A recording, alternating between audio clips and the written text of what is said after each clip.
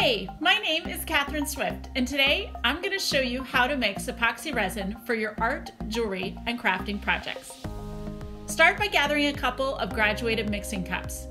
These are essential for making sure you get accurate measurements on your resin and hardener. Next, you want to make sure and measure your resin and hardener in separate cups according to the kit instructions.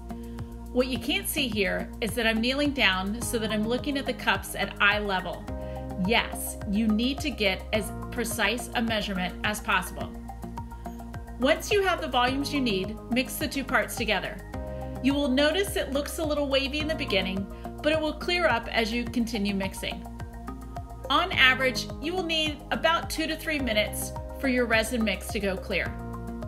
Be sure to scrape the sides of your cup and mixing stick several times during the process. Once your resin is thoroughly mixed, cast it as desired making the mess is optional. If you're mixing resin for artwork or large projects, the same principles apply, but you likely won't be able to mix that large a volume of resin without introducing bubbles. You still want to mix deliberately and thoroughly, scraping the sides of your cup and stirring utensil several times during the process.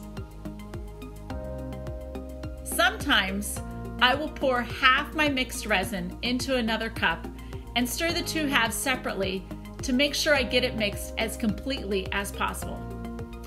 Oh, and I forgot to mention, anytime you are working with epoxy resin, be sure to wear protective gloves and work in a well ventilated area. You want to keep yourself healthy.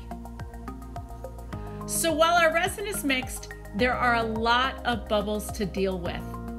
Since I'm using this mix for a resin art project, the resin will be poured in a depth of an eighth of an inch.